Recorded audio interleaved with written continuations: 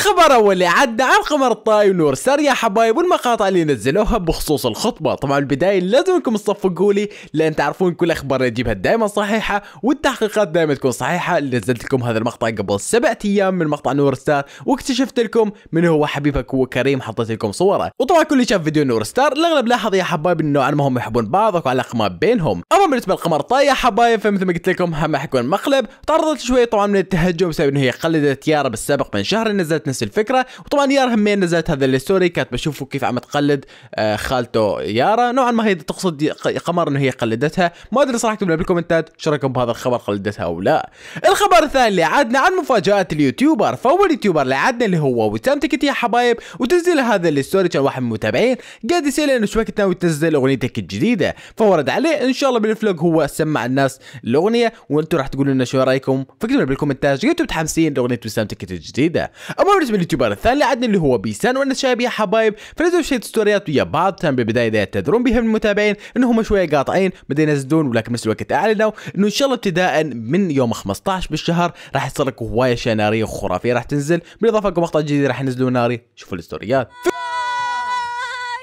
حبايبي يي يي العالم صارت تطلع فينا. طبعا حبايبي غايبين عنكم نحن. أنا وبيسو غايبين عنكم. مقصرين معكم باليوتيوب وبالتيك توك وفي الإنستغرام. بس بإذن الله خطينا خطوة جديدة بدبي. 15 ان شاء الله حتعرفون 15 رح الشهر نعلن عنها. من بعدين رح نبلش انطلاق. خطوة الله. يعني الواحد لما يعملها بيتعذب كثير. وإحنا تعذبنا وباقي بس بس تعرفوها. بس تعرفوها رح نفجر الدنيا. وحبايبي اليوم التقينا أنا وأنس. حتى نعوض لكم شوية تقصير. شو؟ هاي بس حبايبي والله العظيم محضرين لكم. مفاجأة ب 15 الشهر حماس غير عن كل المفاجآت إن شاء الله إيش عملناه يعني فهمتوا علي؟ حبايب بالكومنتات قلتوا متحمسين لمقاطعهم الرهيبة والمفاجآت اللي هم مجهزين لنا ننتقل حاليا أنس شايب يا حبايب وتنزيل هذا ال story اللي كان واضح إنه هو مريض وكاتب عليه من شان الله. أحد يقول لي إنه ليش إيش قاعد يصير وياي إنه ايده اليمين قاعدة ترجف كل ساعة تقريبا وشنو الحل؟ بعدين نزل هذا ال story يا حبايب كان يشكر بيه المتابعين على كلامهم الحلو اللي قاعد يدزوا هي والحلول إنهم خايفين عليه. وبنفس الوقت قاعد يقول إنه ايده كلش قاعدة توجعه بحيث ما قادر إنه هو يستخدمها وإن شاء الله خير يا رب. فالله يشفيه يا رب إن شاء الله ما بيه خير وعافيه وإن شاء الله يرجع لنا باسرع وقت. ننتقل حاليا لمحمد جواني. يا حبايب هل هو راح يتصالح ويا بيسان؟ فنزل هذا ال story كاتب له لو رجعت لك واعتذرت بتقبل أو لا. فورد عليه منو هي؟ أي وحدة؟ بعدين قال عموما أنا بسامح. بس ما بنسى فكرنا حبوا بالكومنتات شو رأيكم باللي صار؟ وهل ممكن يتصالح ويا بيسان أو لا؟ ننتقل حاليا للخبر الشيء زعلانة فنزلت هذا ال story يا حبايب صارت كاتبه مقهورة مقهورة بسبب إنه هي حذفت واحد من الفيديوهات اللي كان المفروض ننزلنا عقب باكر فاكتبوا بالكومنتات شو رأيكم بالخبر.